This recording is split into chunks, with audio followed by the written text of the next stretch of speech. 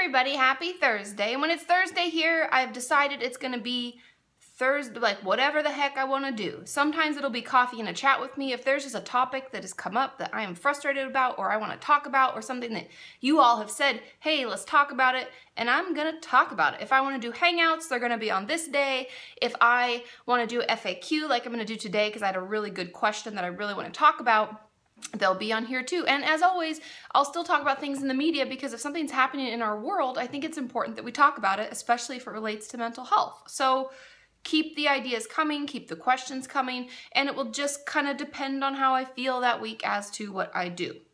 Cool? If you like that, give it a thumbs up. It'll be kind of our way to explore more things, for me to be kind of more creative potentially. I'll try my best, and I think it will be really cool. So today's question is something that I get a lot of questions about, and I've had this question for years, and that's the funny thing, but hearing it now, I thought, you know, I should really talk about it. And the question is, I know this sounds crazy, Kati, but if my self-harming isn't hurting anyone else, hurting anyone else, why do I need to stop?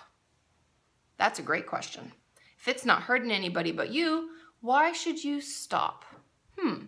Now, the truth of it is that it doesn't matter if it's hurting someone else we don't have to stop doing some things that we're doing just because it's only hurting us.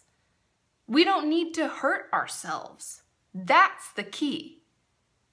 And the fact that we're using the, the self-harm, whatever it may be, we could even say that we're using our shopping addiction. We're overeating, we're undereating, we're doing all sorts of different things to harm ourselves, but just because it's not hurting someone else doesn't mean that we're not important. That whole question just says to me, I'm not important. I can do whatever the hell I want to myself. I'm not important. And I'm here to tell you that you are important. And that the reason that we stop self-harming is because we're using it to cope with emotions, feelings, situations, and we're putting those things off.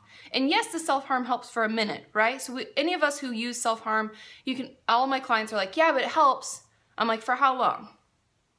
And they'll always say, oh, for a little bit, and then the urges come back, right? Because the need to numb continues, and the need to zone out or whatever, squash down all the feelings, comes, it keeps coming back. And so what we're really doing is putting off the inevitable, which is being human, having feelings, being upset, having situations be really difficult and discouraging, instead of just pushing forward, processing through it, talking it out, and finding out that it's actually okay on the other side. That's why we need to stop. Doesn't matter if it's hurting someone else. I care that it's hurting you and it's stopping you from growing, from living your life. And we don't want to be 85 year old people still self harming, right? We want to try to work through it. We want to be able to enjoy our lives. We don't want to miss it all because we're just too busy numbing out. And I think that is the key. And you're you're free to disagree with me, be like, but it doesn't matter because I don't matter. But that just is self-loathing. That's that negative self-talk. We're caught in that nasty cycle. And I would encourage you, if we stop self-harming, those urges are going to come and we'll slip up from time to time. It's a process, not perfection. But you deserve the right to have a life, to feel feelings, to experience it for all its wonderful and terrible things because that's what it's all about. And I would encourage you, if you're not, see, to see a therapist or check out my free self-harm workbook that's on my website, katimorton.com, and get the help you need and deserve because I care about you. I'm not worried about those other people. So please reach out for help. Please fight those urges because you're worth it.